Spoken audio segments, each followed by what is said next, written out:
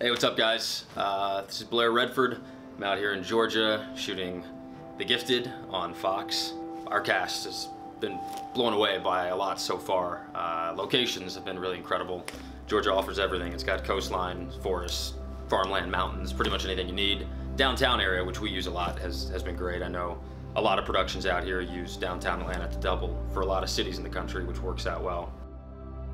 The crew is really phenomenal. Uh, we noticed right away when we got here there's just uh, an excitement with uh, the local crew. Atlanta has uh, a heck of a uh, accommodating nightlife and, and things to do when you're um, experiencing your off hours. I know a lot of the actors from New York and LA, they've had a pretty substantial experience with the restaurant scene and the food. So altogether, you know, we've, we've really been impressed by it and we hope we'll be back here for a few more seasons, a few more years. It's been good.